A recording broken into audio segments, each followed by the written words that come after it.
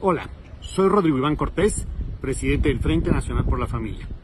Hidalgo está bajo amenaza, amenaza de quienes quieren hacer que el asesinato del ser humano en su etapa más indefensa y vulnerable se convierta en un derecho. Un derecho además hasta las 24 semanas. Una barbarie inhumana. No podemos permitirlo.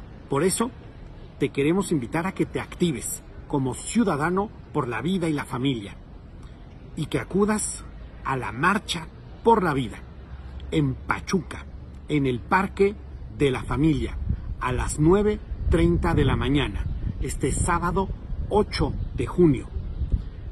Queremos que se oiga fuerte y claro que Hidalgo le dice sí a la vida. No faltes.